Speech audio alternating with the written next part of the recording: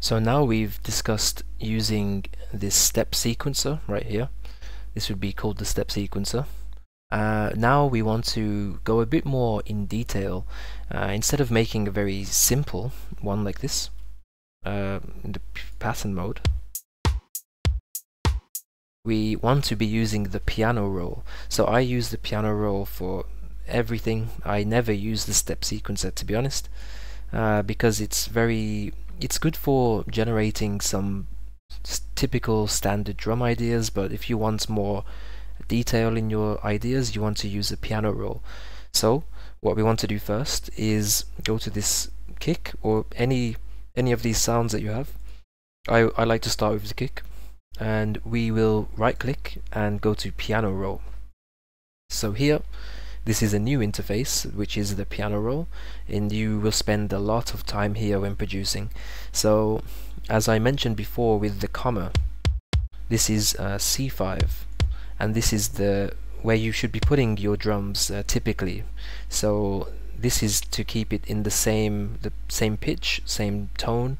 Uh, you see if I play it, if I click here to play, and I play on a different number or a different letter, uh, different notes, then it will sound different. The pitch will be lower or the pitch will be higher. So if we have a listen. So you see that the drum changes completely. So if you want that sound, like a lower pitch sound, then sure, you can do it. Or a higher pitch sound, of course, but uh, to keep the standard drum, you want to keep it on C5 right? So if I use this at the top here and I use it to zoom in so we can see our uh, bar 1 right? This is the first bar. We can see it's uh, closer. So it's very similar to the step sequencer as you could place one like this. Uh, and we can use the play. So you can hear that it's very similar to that step sequencer right? That we can place it every uh, 4 inside this first bar. So it has that uh, standard normal rhythm. Uh, but you can see that you can do a lot more detail here. You can shorten the sound, you can make it longer, you can do quite a few different things. Uh, so let's say I wanted 2 right here, then 1, and then 2 again, and 1, and this is half time, right? We shorten this uh, into half time, so there will be 2 like this.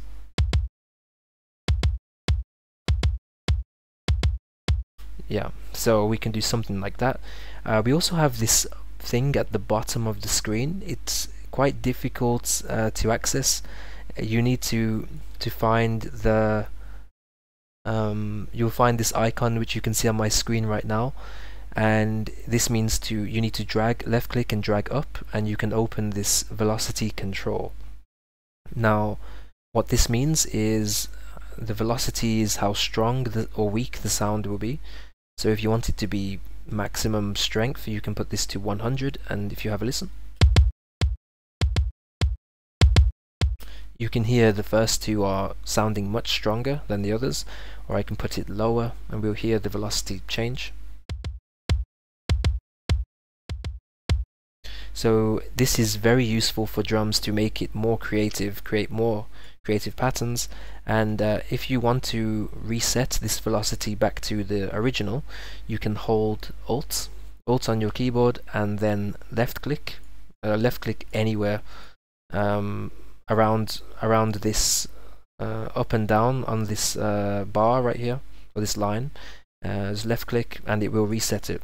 So you could left click up here and it will re reset to the original. Okay uh, so this would be a basic way of using this piano roll. So if we add this rim, we can go to piano roll for the rim, and maybe I want a rim here, I want a rim here, and I want one at the end. So let's have a listen to this now. Uh, and because we are on pattern mode, and we have the kick and the rim in the same pattern, right? They are both in drums. We will hear both of them playing at the same time. So let's have a listen to this.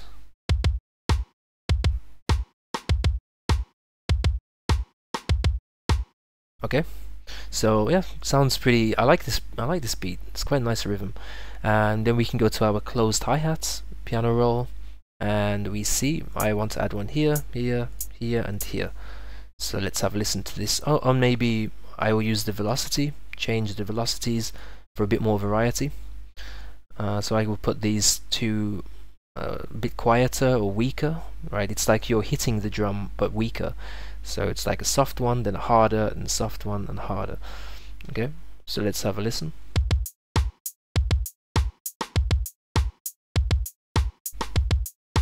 Okay, so this would be your basic pattern right here in the piano roll. And then this pattern, of course, we can add it to our, add it right here. Uh, oh, and another important thing to note, you can see that uh, this is only half of one bar. Right, so you want to be adding uh, more, you know, using this paint. Make sure you you are on paint, left click and drag. Uh, you can hear in the song mode, right? If we want to play it here, it needs to be in song mode. We have listen. We can play two.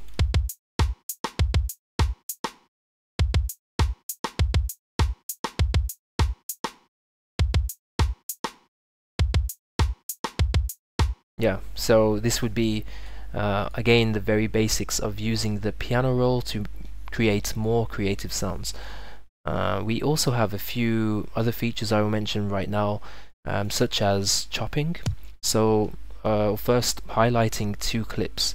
If you hold control and you left click and drag you can select one you can select multiple clips from uh, they could be on different anywhere. Maybe these, we want to select these, we hold control and left click and drag to select those.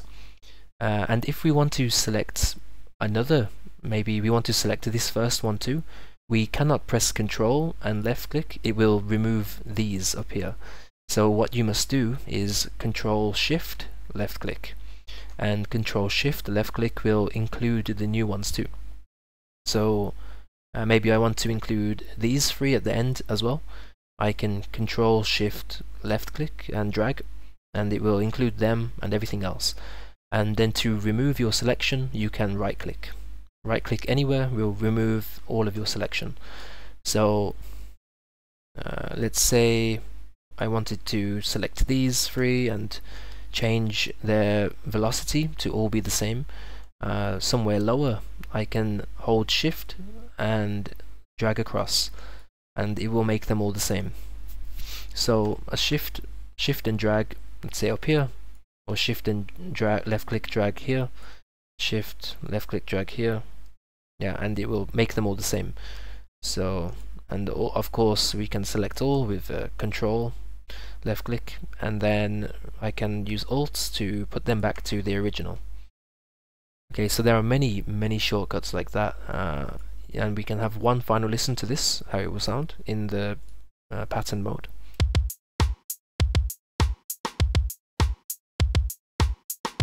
Okay, so this is the basics of using the piano roll.